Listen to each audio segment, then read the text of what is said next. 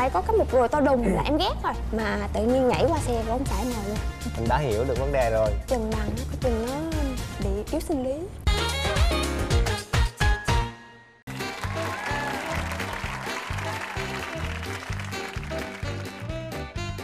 Dạ em chào anh chị và chào mọi người ạ. À, chào tụi em. Ờ. À, hai em giới thiệu à, về mình. À, dạ em là Nguyễn Thị Luyện. Năm nay em 25 tuổi. À, em làm bên bộ phận xuất nhập khẩu. Thế còn em dạ em à, tên võ văn bằng. Năm nay em 26 tuổi. Nghề nghiệp của em là kỹ thuật viên môi trường. À. hiện tại em đang công tác và sống ở tây ninh. Tụi em là ở ở trên tây ninh xuống à? Dạ. Ồ đi bằng gì xuống dạ xe máy ồ à, thay mặt cho ekip thực hiện chương trình và trọng sơn cảm ơn hai bạn rất nhiều. À. luyến à, và bằng hai vợ chồng trước đây là gặp nhau lần đầu tiên như thế nào? Và ai là người ấn tượng ngay trước tiên tụi em à, gặp là biết nhau á gọi là biết nhau á thì à, là còn hồi học phổ thông. Trong à, một dịp tình cờ thôi thì một người bạn của ảnh đồng thời cũng là bạn cũ của em thì cho em có gian từ trên tây ninh xuống thành phố học á. Trên đường đi thì tính ghé vào một quán nước uống nghỉ ngơi thôi. Người bạn đó mới nói là à có một người bạn của mình đây thì rủ ảnh ra uống nước chung cho vui. Người bạn đó là ông xã em bây giờ ảnh lúc đó là mới đi tập thể hình về. Cái ấn tượng đầu tiên là khác hẳn với hồi mà học phổ thông trển thì hồi học phổ thông thì ảnh nhỏ con giống như chưa dậy thì á mà ngay mặt lại có cái một rùi to đùng là em ghét rồi. Mà hồi đó là quậy phá học dở lắm là em không có thích cái tiếp người học dở. Rồi bây giờ gặp lại thì thấy ờ, một rồi Đi. biến mất. Dạ đúng rồi, đi mới đi tập thể hình về thì cũng có cơ bắp, mặc áo ba lỗ. Thì giờ em ấn tượng ngay từ lần gặp đầu tiên đó. Thì à, em mới à, kết rồi thì ngồi nói chuyện chung vui vậy đó. Không biết linh cảm hay sao đó em không ngồi xe của cái bạn đó nữa Mà tự nhiên nhảy qua xe của ông xã em ngồi luôn. Em Dạ. cua trước hay vợ em cua trước? Là cái người nào tỏ tình trước? Em thấy là Ảnh chị này có cái cái giống như là ý định cũng muốn qua chợ mình chở thì mình đã hiểu được vấn đề rồi. Dạ, hiện tại với đó là em cũng đang ờ, quen một người ờ, em cảm nhận cái người trước của em á. Người yêu đó là giống như thương em rất rất là thật lòng nhưng mà cái cảm giác của em á là giống như mình không có mang được cái hạnh phúc cho họ về tiến xa hơn đó thì em quyết định là lúc đó thì hai người cũng có đang mâu thuẫn. Thì em thấy là nên chấm dứt. Ừ.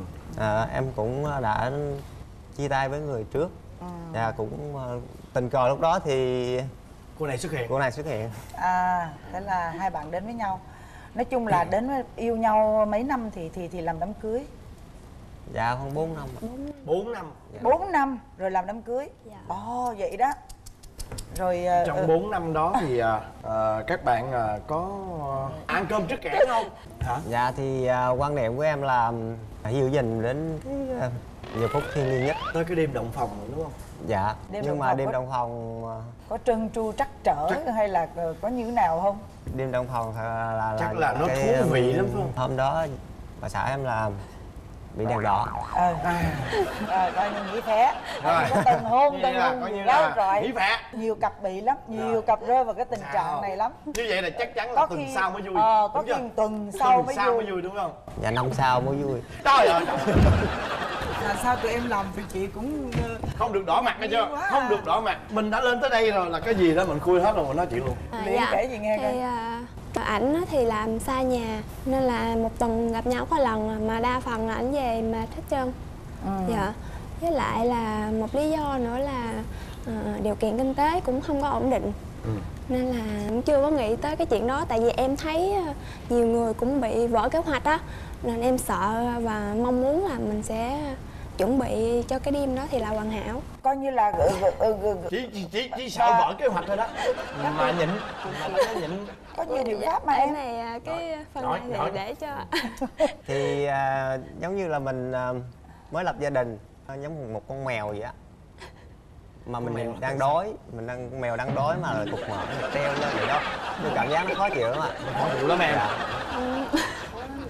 nhưng mà nhưng mà chị hỏi là rồi bên bên nhà em có biết là cái chuyện cả năm sau rồi mới có cái đêm tân hôn không? Dạ có. Em về em có tâm sự với với mẹ và chị gái. Mẹ chị gái có có, có nói gì về cái thì trường à, hợp này không? thì chị hai của em á thì nói à, mày về mày coi chừng bằng á coi chừng nó bị yếu sinh lý. Ờ. bầu em lấy nhau bao lâu rồi? Chính thức ngày mai nữa là một năm hai tháng. Rồi sau vậy là tháng nó mới đây thôi đó hả? Hai tháng. Rất em phát hiện ra là ảnh không có yếu nếu mà nói chung cho tới bây giờ là hoàn hảo đúng không? Dạ. Em thì sao? Dạ, À, ok. rồi ok ok được rồi. Bây giờ về cuộc sống thì sao nè? Coi như lấy nhau giờ xong rồi thì nói có thẳng luôn đi. Ông nội này không có tật xấu gì không? Dạ trời ơi ảnh lười biếng kinh khủng luôn. Lười biếng rồi còn gì nữa dạ. nè? Vợ chồng nhưng mà ảnh không khi nào xưng hô anh em với em hết á. Ủa xưng mặn gì? Xưng ta ta. Giống như là ảnh ảnh ở trên còn em là thường dân như vậy chắc cái điều này trong đó huệ ở thôi anh không thích. Dạ hai chồng mong muốn thay đổi gì ở nhau nè thôi giờ cho bằng trước đó. Đó. bớt càm ràm một xíu. Nói gì nữa? đi đâu đó thì đồng ý cho em đi một cách vui vẻ. Ừ. thì em sẽ đi đúng giờ về. Rồi còn liễn? Mà tại vì ảnh lười biếng nên em mới ưa nhắc và ưa càm ràm vậy thôi. Ví dụ như ảnh là làm chiều 4 giờ bốn rưỡi là ảnh về rồi. Mà ảnh nằm ảnh xem tivi nằm ình đó. Em về nấu nướng nấu cơm làm gì làm ảnh ngồi ảnh nhìn vậy. Xong rồi cái em mới nói ờ anh phụ em làm này làm kia. Anh chị biết anh trả lời sao? Anh thề anh sẽ không bao giờ phụ em một câu nói nghĩa đen nghĩa bóng gì? Bây giờ là hết hết cái đại hội giặt mặt này nè giờ muốn đại hội thay đổi nè. Bây giờ mong muốn là bớt lười biếng nè Dạ. rồi gì nữa. Rồi ờ, đó đừng có xưng hô ờ, dạ đúng rồi cách xưng hô đó là em đặt lên hàng đầu luôn anh muốn thay đổi đầu muốn tiên. là Được thay không đổi bà? là anh em à dạ. Đúng không? Không thì à, vợ hay là bà xã? Được không? Có khó không cái tính của em là không thích ngọt á. Nhưng mà là tình cảm lãng mạn quá sến quá em, em chỉ cần thay đổi là thay vì như là ta em. với lại là gì? Món ta món. ta với món thì lại giờ kêu là anh, Anh với món. anh với món dạ Hoặc, Ừ. ờ, Được với không? món. dạ được ạ được không tại vì giờ này nãy giờ chị thấy hai bạn có một cái ha chị để ý chị thấy là có đôi lúc nói chuyện trong mắt của vợ có những cái mà nước mắt nó muốn trào ra chồng cũng vậy mà chị không biết lý do sâu xa của cái việc mà trào nước mắt là cái gì chị biết là hai em có một cái gì đó mà chưa có nói hẳn ra hết Ừ. những cái điều mà mình mong mỏi về nhau dạ thì à, trước khi lên chương trình á thì à, ông xã của em thì à, có một cái mong muốn rất là lớn là muốn em chia sẻ với chương trình để em và gia đình là mẹ chồng em bớt cái thành kiến là cái mong muốn lớn nhất của ảnh khi em vợ chồng em tham gia chương trình này. Ừ, có nghĩa là bây giờ gia ba mẹ chồng vẫn thành kiến với em hả? Dạ tại vì à, cưới xong thì về ở chung với ba mẹ. Khoảng à, vài tháng thì cũng có một số mâu thuẫn tế nhị trong gia đình. Thì hiện tại là tụi em đã ra ở trọ. Ừ. Và gia đình á, thì mong muốn tụi em quay về. Em vẫn chăm sóc và lo cho ba mẹ Nhưng mà thực chất là em không không thích ở chung. Ừ. Dạ. Mà cái điều mà ở chung là do là bằng muốn đúng không? Dạ. Vậy thì bây giờ sao ta? Luyện á, thì lại không muốn ờ, không muốn, về, ở chung trong khi bằng á, thì lại muốn ờ, muốn về ở chung. Ờ, vậy thì tụi em sẽ giải quyết chuyện này như thế nào? Tại vì nhà còn một ông anh nữa chưa có gia đình Ừ. là đang ở chung với ba mẹ. Thì em mới bàn với chồng em á là hai đứa mới quyết định ra ở riêng. Thì à, ba của ảnh bây giờ thì mới nói là thôi nhờ ba cho đất kế bên á thì hai đứa cứ cắt cái nhà ở đó ở gần cha gần mẹ. Thì em cũng khẳng định một câu á thì cha mẹ nào cũng là cha mẹ. À, em cũng ờ, quan tâm chăm sóc ba mẹ bình thường. Có ở chung hay ở riêng gì cũng vậy thôi chứ không phải là em bỏ ở trọ xa hay là đi đâu mà không quan tâm tới ba mẹ. Ý em là như vậy chứ không phải là tụi em đi luôn ừ. không bây giờ ví dụ gì nè nếu mà chị chị chị hỏi ờ, luyện nè ví dụ như bây giờ á, ba mẹ cho cái miếng đất gần bên á dạ. thì trong trường hợp mà tụi em cất cái nhà ở đó dạ. thì chị thấy giải pháp đó được mà đúng không? Dạ. Đúng thì rồi. bằng có đồng ý giải gần- pháp đó không? anh thì thấy ờ, cái giải pháp nào cũng được nhưng mà anh thấy là vì em ở cửa giữa em cứ nghĩ là mình cứ làm cái gì mà mình thấy mình thoải mái với lại là đừng có ai mà buồn. Chị chị thấy như vậy nè bằng nếu trong trường hợp mà cái vấn đề hòa hợp giữa con dâu và mẹ chồng trong thời gian này thứ nhất là tụi em chưa có em bé đúng không? Dạ. Đó thì để mà cho cái việc mà tụi em chuẩn bị ờ, ra đời một em bé thì tạm thời cái giải pháp là bây giờ ờ, tụi em vẫn cứ ở riêng ra. Em cứ để cho vợ em chín chắn đã trong cái mối quan hệ vợ chồng trước gây dựng một cái gia đình nhỏ biết nắm cái gia đình nhỏ mình trước tích cóp tiền.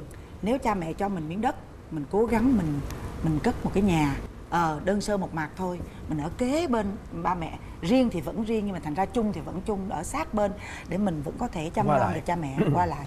Đó là cái giải pháp tốt nhất. Thì chị cũng nghĩ rằng như vậy nè. Nhân cơ hội chương trình này đó thì hai vợ chồng á nên nhất là em á, có một cái tâm sự em nói cho ba mẹ hiểu. Dạ thật ra thì à, cũng thông qua chương trình thì à, con cũng rất không phải là con bỏ đi đấy là à, con từ bỏ ba mẹ mà một ngày nào đó khi con đã thụ đủ chín chắn rồi thì à, con sẽ trở về. Có thể là không ở chung một mái nhà nhưng mà con sẽ chăm sóc và phụng dưỡng cho ba mẹ đúng trách nhiệm một người con dâu út. Bằng. Bằng nói đi bằng nói với, với ba mẹ một tiếng đi cho ba mẹ hiểu. Thì con cũng ờ, cũng muốn làm ờ, ba mẹ với lại là vợ con. Chung là sẽ um, trở lại như xưa vui vẻ.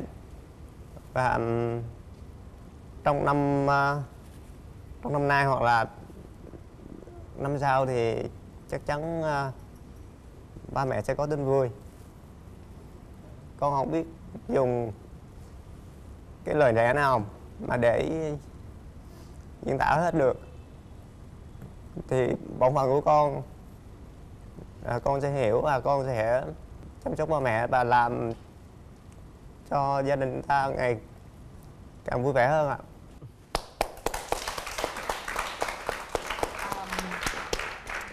Nhân đây á, thì vân cũng chỉ mong rằng anh chị hãy hiểu nếu mà thực sự là thương thương bé bằng tại vì bằng là út cho nên cái trách nhiệm mà gọi là gọi là câu câu miền nam mình là út nhờ út chịu. Cho nên là cái áp lực của bằng rất là lớn. Thì á, nếu mà anh chị thương bằng thì anh chị thời điểm này thông cảm cho cho cho bằng để mà bằng có thể lo cho cái gia đình nhỏ của bằng cũng như vợ hoặc là cái đứa con tương lai sắp chào đời.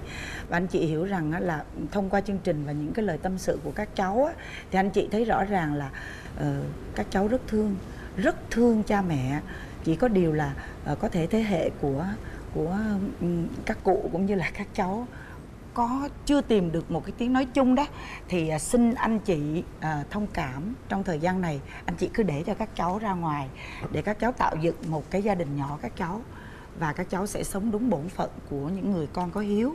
Thì à, rất mong là anh chị cảm thông. Dạ thì ờ, khi ba mẹ xem cái chương trình xem chương trình này thì ba mẹ sẽ hiểu. Ừ. anh nghĩ là hiểu hiểu. Và thôi chỉ khóc hôm nay thôi. Và về và hai người cứ nhìn nhau mà cười. Hai đứa nắm tay nhau ôm nhau cái hùng cái trong cái. rồi. Có tin vui là báo liền nha. Ok cảm ơn hai em. Rồi